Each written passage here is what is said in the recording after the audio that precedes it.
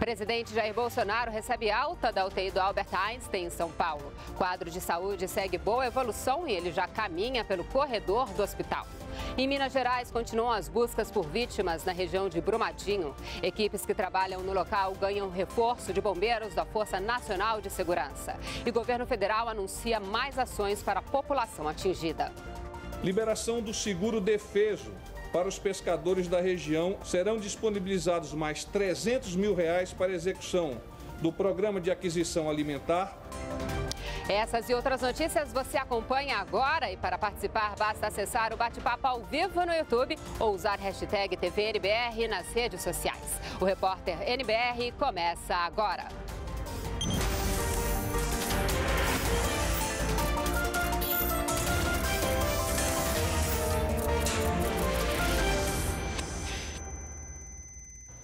Olá, boa noite. No ar o repórter NBR com as notícias do governo federal desta quarta-feira, 30 de janeiro de 2019. A gente começa a edição de hoje com a participação ao vivo do repórter Ricardo Ferraz, que está em São Paulo e tem informações sobre o estado de saúde do presidente Jair Bolsonaro. Olá, Ricardo, boa noite. Boa noite, Alessandra. O último boletim divulgado pela equipe médica que acompanha o presidente Jair Bolsonaro aqui no Hospital Albert Einstein, na capital paulista, informa que o presidente teve hoje alta da unidade de terapia intensiva e apresenta boa evolução clínico-cirúrgica. O presidente não apresenta sangramentos, permanece sem febre, sem nenhum sinal de é, qualquer infecção ou outra disfunção orgânica. Hoje pela manhã, o presidente realizou alguns exercícios acompanhados, acompanhado da equipe de fisioterapia aqui do Hospital Albert Einstein. Exercícios que se repetiram à tarde também. Ele andou cerca de 200 metros no período da manhã, nos corredores do hospital, e 40 metros no período da tarde. Depois, à tarde, o presidente fez exercício em um aparelho bastante peculiar, uma espécie de bicicleta que é acoplada aos pés da cama e o paciente deitado pode fazer exercícios. Uma enfermeira chegou a brincar com o presidente que ele precisava bater uma meta de 5 quilômetros, mas em entrevista coletiva, o porta-voz da presidência da República, Otávio Rego Barros, disse que não sabia dizer se o presidente de fato chegou a cumprir essa meta. O importante é que ele teve um desempenho bastante satisfatório para este momento. O, por ordem médica, as visitas aqui no Hospital Albert Einstein, as visitas físicas, continuam restritas e por isso as teleconferências vão ser um jeito encontrado para que o presidente possa despachar com auxiliares e ministros mais próximos. Como ele não pode falar, porque essa prática pode, inclusive, acumular um pouco de gases no abdômen, o que dificultaria a recuperação do presidente, a dinâmica vai acontecer da seguinte forma: o interlocutor fala com o presidente e ele responde por escrito, seja em papel ou usando o celular e aplicativos de trocas de mensagens. Essas foram informações que foram prestadas hoje pelo porta-voz da Presidência da República, Otávio Rego Barros. Ele falou também que ah, um dos temas principais que devem acontecer nessas conversas entre o presidente e seus interlocutores é justamente a situação de Brumadinho. E ele disse que ah, alguns empenhos por parte do Ministério da Economia já foram realizados e ele explicou como esses repasses de dinheiro vão acontecer na região. Vamos assistir. Ministério da Economia e do Desenvolvimento Regional disponibilizar o valor de 801,9 milhões para assistência emergencial às famílias afetadas em Brumadinho, no âmbito da rubrica Apoio Emergencial e Desastres. O valor pode ser direcionado para a doação de kits de emergência, contendo, por exemplo, barracas para dormitórios, água potável, colchões, cestas básicas, produtos de limpeza e de higiene pessoal.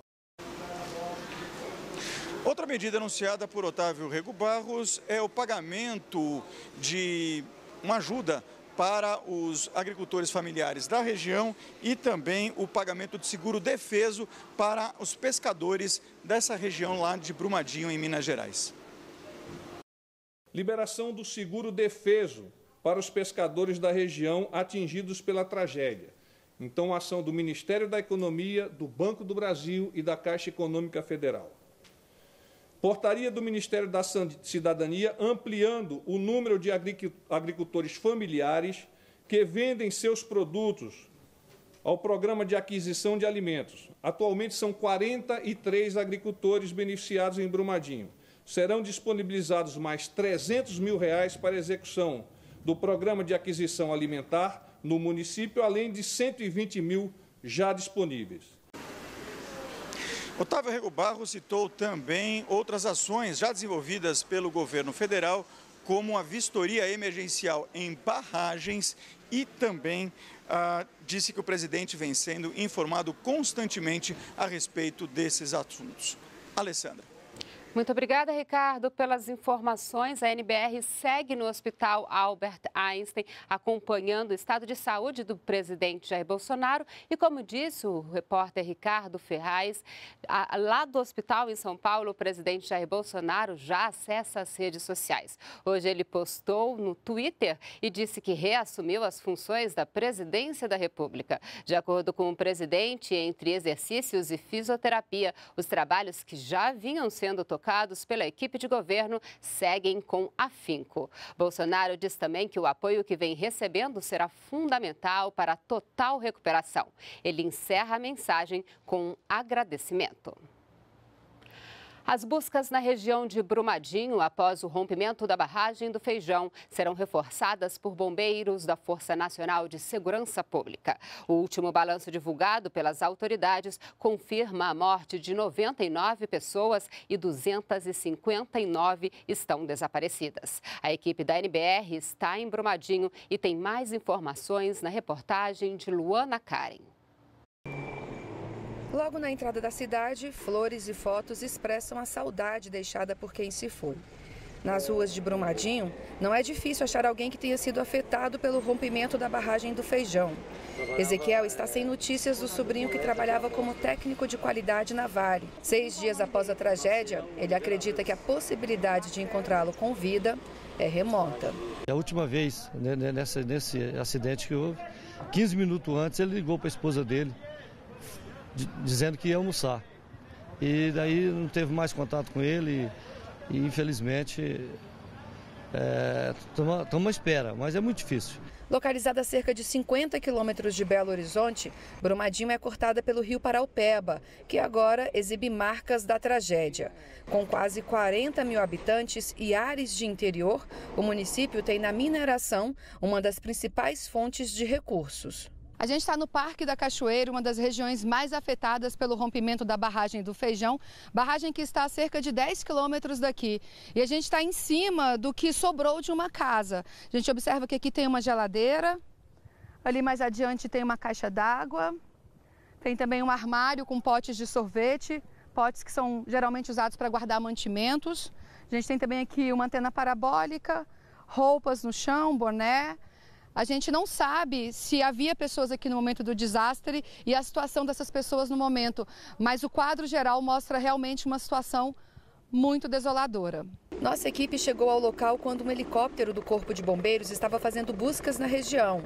Eles sobrevoavam bem próximo ao mar de lama na tentativa de achar alguma vítima. Paulo mora em Brumadinho há 25 anos e conhecia bem a região do Parque da Cachoeira. O desastre foi muito grande. Não foi é, uma coisa assim pequena, foi muito grande mesmo. Você daqui de baixo, onde que é o Parque da Cachoeira, que está quase desaguando o rio, para cima tem mais 10 quilômetros de lama. Em extensão de uns, uns, uns 200 a 150 metros de lama lado. Então é, é muito triste mesmo, sabe, a situação. Ele perdeu amigos e conhecidos na tragédia. Tem muita gente, por exemplo, gente que eu estudei junto, que minha esposa estudou junto, foram muitas pessoas que cresceram junto com a gente, é, vizinhos é, de onde eu moro agora que é, a gente perdeu eles, vizinhos de quando antes de eu casar também, que é, a gente cresceu junto na mesma, na mesma vila e também é, foram levados, sabe? E nesta quarta-feira foi anunciado que 60 bombeiros da Força Nacional de Segurança Pública vão reforçar a atuação das equipes aqui em Brumadinho. A previsão é de que sigam para a cidade no sábado e comecem a trabalhar já no domingo.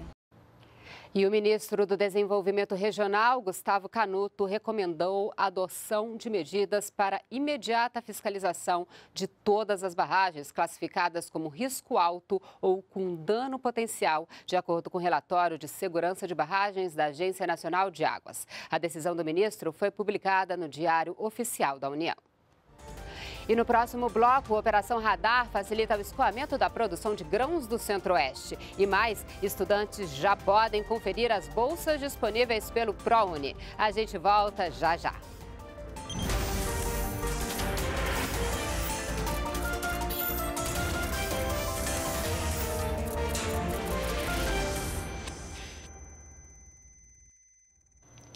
Para facilitar o escoamento da produção de grãos do Centro-Oeste, está em andamento até o mês de maio a segunda fase da Operação Radar. As ações se concentram na BR-163, principal rodovia que leva os grãos até os portos do norte do país. Atualmente, a BR não tem pavimentação em dois trechos, que somam mais de 100 quilômetros, e por isso precisa da ação coordenada do governo federal. A meta principal da Operação Radar, que já está em curso, é garantir o escoamento da safra na BR-163, que liga os municípios de Sinop, no Mato Grosso, e Santarém, no Pará. São 1.300 quilômetros de extensão. Essa rodovia, a 163, ela é o eixo hoje principal para o escoamento de grande parte dessa produção, que a cada ano vem se intensificando a saída pelo, pelo arco norte, né? Pela, é, pelos portos lá da região norte. E a importância dessa operação para que a gente não tenha de novo aquelas imagens na televisão de caminhão atolado, é, caminhoneiros sem condições de estar ali, sem água, sem alimentação, enfim, tendo toda uma movimentação. Hoje há planejamento para que isso não aconteça. A estimativa é de que a produção de grãos do país seja de mais de 237 milhões de toneladas este ano. 4,5 a mais do que na safra passada.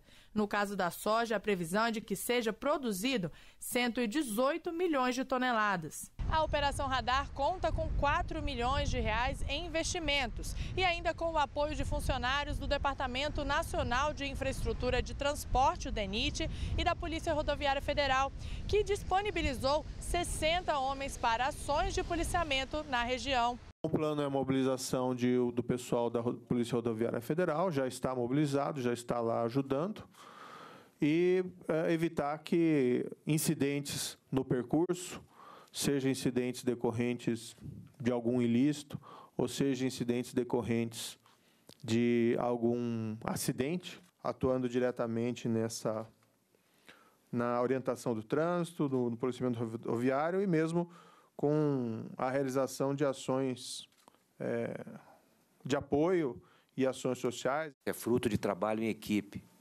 E é uma marca do início desse governo a integração, ministra, entre os nossos ministérios.